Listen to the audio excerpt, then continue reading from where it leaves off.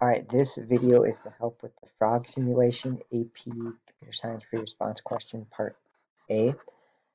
Uh, hopefully you've read over this already and given it a shot. If not, pause the video, try it first.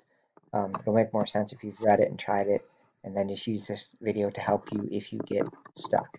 Alright, and it can be somewhat interactive. If you're stuck, watch a little bit, maybe it makes sense then, pause it, go back and finish, um, and then you can always watch this video, check your answer.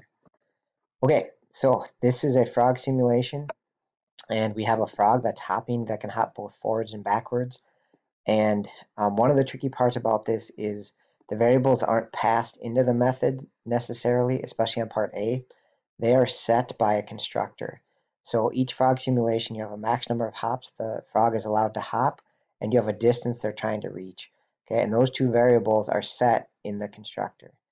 Okay, so um, on part A, we're going to simulate a frog hopping and see if it reaches its goal distance or not. And notice that no variables come in. They are going to be these two variables, which are accessible because they're outside of any method. So we can use them in our method A um, without having to have them be passed in, right? There's nothing being passed into this method. The other thing to note here in the code is that there's a method that, that does some random hop distance that can be both forward or backwards. Um, and so we're going to have to call that method uh, in in the simulate here to, to simulate the frog hopping. We're going to call that method. Um, they give some pretty good examples here for does it reach its goal or not. So again, hopefully you've read this, but um, if the frog reaches the goal or passes it, then we return true. Um, if the frog goes to a negative position, then we're going to return false. We didn't make it, so it hops negative value or out. And then um, you if you reach your max hops and you still haven't reached your goal, then you want to return false. Okay, so they give a bunch of good examples here, which hopefully, you know, will make sense. This example, you have a length of 24 and a max of five hops. So in example one, they make it there in five hops, so they're okay. Example two, they make it there in four and can stop. Uh, example three, again, you made it there in only three hops. And then example four would be a false one because we went negative, so we don't even hop anymore because we went negative. And then example five, we did all our hops max of five and still didn't make it. Right, so those are pretty good examples or test cases for you to think about when you're programming part A.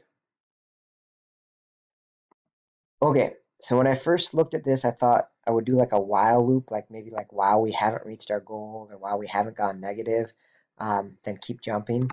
And you can do that. Um, that's actually how I originally wrote it. But then I investigated a little bit more and, I thought, you know, you can actually just do a regular loop. And then inside of that loop, if your distance ever goes negative or goes above the goal distance, equal to or above the goal distance, then you can just return true and that'll make the loop break.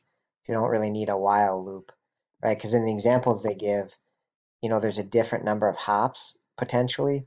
And so I was like, oh, we should do a while, but you can actually do a for and then just return. Like once you hit your goal or hit a negative just return and then boom, you're good, right? Uh, one thing we do need to do is keep track of how far we've hopped. So I'm just going to make a distance variable that says we haven't hopped any distance at all at the start. And now I'm going to do my for loop. So I'm going to call it hops and say we start at one hop and our hops has to say less than or equal to the max hops plus plus hop. So that's going to simulate hopping up to the number of max hops. And again, this max hops is just a variable that's globally accessible everywhere. All right, and so each time I'm going to hop, so when I hop, I'm going to call the hop distance method. That's going to return a different distance each time, potentially negative. And I just want to add that to my distance. So I'm going to update my distance. I'm to plus equal whatever the next hop is.